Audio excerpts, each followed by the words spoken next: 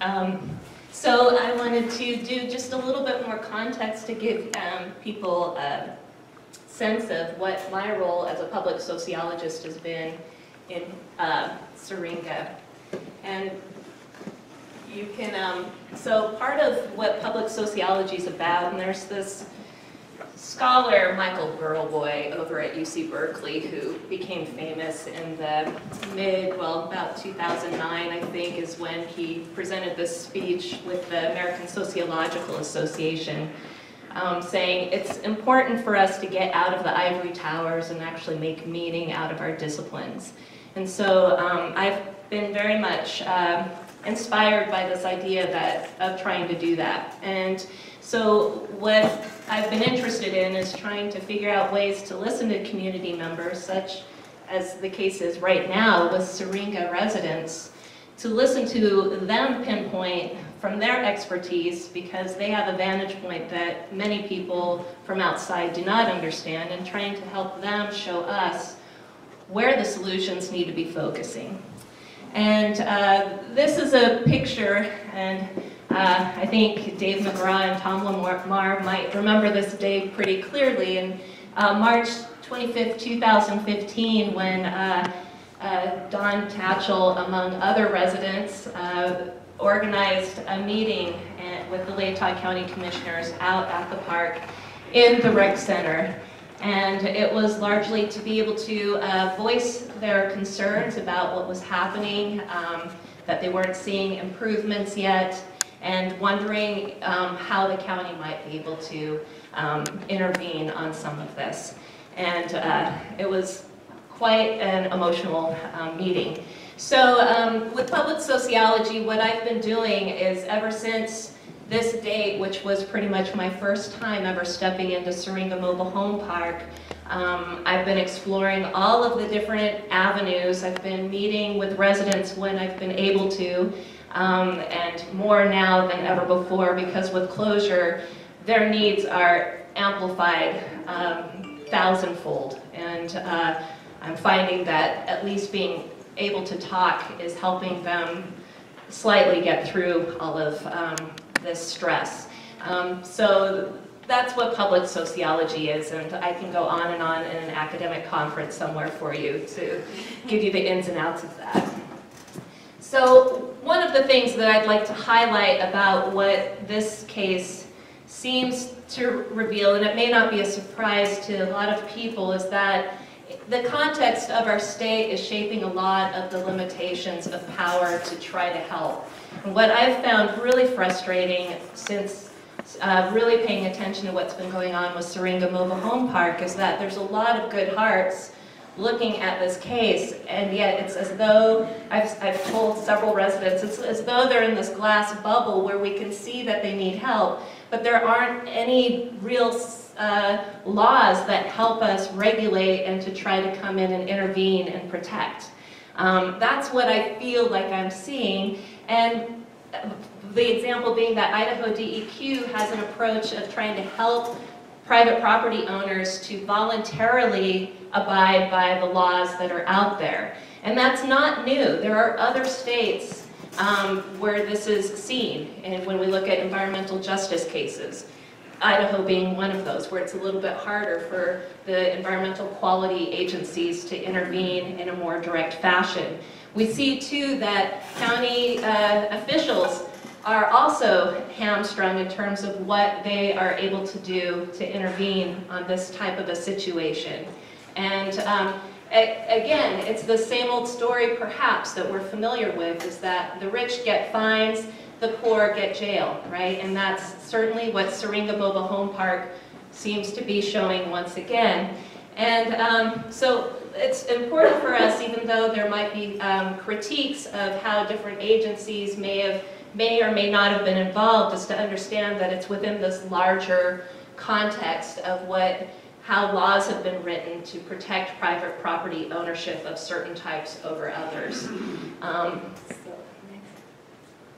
and what I want to pursue a little bit further, um, I want to focus mostly on residents' experiences right now, because that's what the most immediate concern is. But as I'm exploring this, I want to understand too how it is that we have neighboring states that have had a little bit more teeth when they've been trying to address similar types of issues. One with Mag- Magar e Magar um, at Riverwood Mobile Home Park in Oregon. Oregon's environmental quality agencies actually had a little bit more teeth and been able to um, get Magar to act a little bit more um, precisely on these issues. And again, that is a mobile home park, much like Syringa, where the sewage and water pipes are owned by that landowner, and so he has the ultimate responsibility to keep track of it.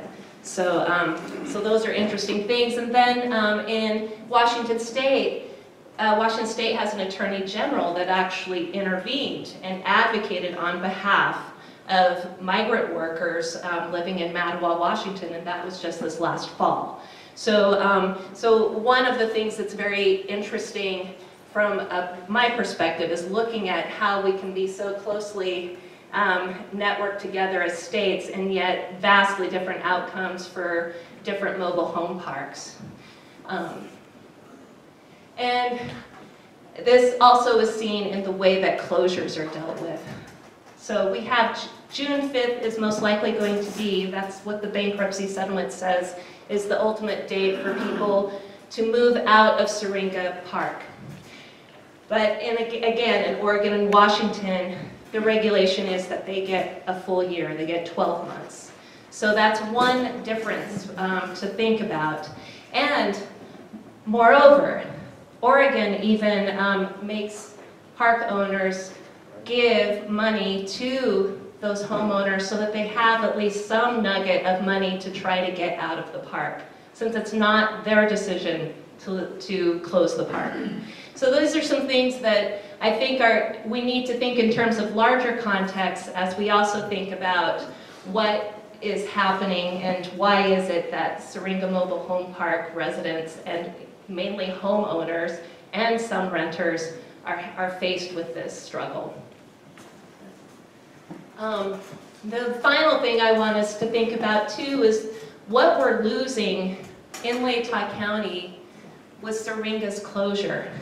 Um, Ann Thompson, who is a staff member at University of Idaho, gave me these photos. When she found out that I was going to put on this event, she said, I have photos of back when it was really nice in the early and mid 80s where the indoor swimming pool was clean and people had parties. Dave McGraw, I know, told me a story about going to parties out there to swim as in high school, right?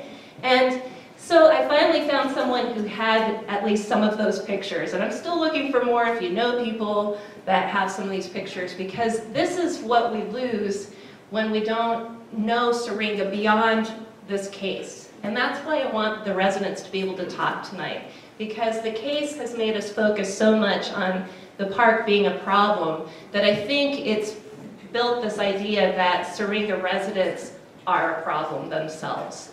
And I'm hoping we can move away from that thinking. Clearly people who are here are willing to do that. Um, so uh, Anne uh, sent me an email and she said, when the, these pictures those were good years. My son was born out there. It was our first home that we purchased. We lived paycheck to paycheck. We loved it out there because it was like country living and felt rich because there was also a pool. It was our first start in life as a married couple. Syringa has been that for young families. Syringa has been that for retirees. There's still a couple out there right now that retired out there right before Magar bought the place in the early 80s, thinking that that was where they were going to get to retire and live the rest of their years. Um, so, and also too, this has been a place where a lot of college students, undergrads, graduates, they've lived out there as well. So, um, so this is the kind of stuff we're losing. And I have one more slide.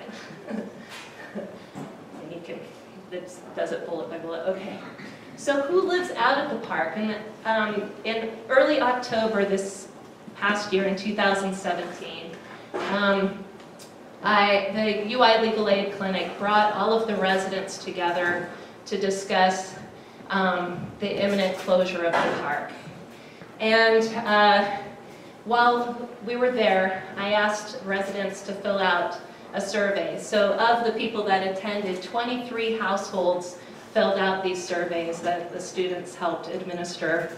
And what we found is that, you know, in the past, we had traditionally young people and retirees going out there. Um, Today, as of now, there's nine children still living out at the park. There used to be a lot more, but there are still nine children, a few of which are special needs children, and um, they're living out in the park. Um, There's a few more if you go with the Idaho Department of Health and Welfare. It's uh, up to, I think, 14 children who are 21 years or younger. That's what the Idaho Department of Health and Wel- Welfare uses.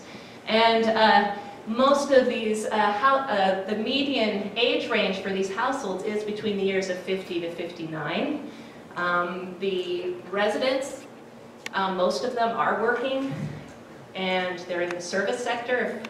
They're uh, working at grocery stores, retail outlets, in the health industry, in higher ed and sciences, property sales, and there's even self-employed people, one of which is maybe someone who's driven you in a taxi, in Wildcat Taxi, who was not able to make it tonight, Denise James. Ah, you making it, yeah, thank you. So, um, 14 of these 23 households report having at least one family member who has chronic, who suffers from chronic pain and health issues.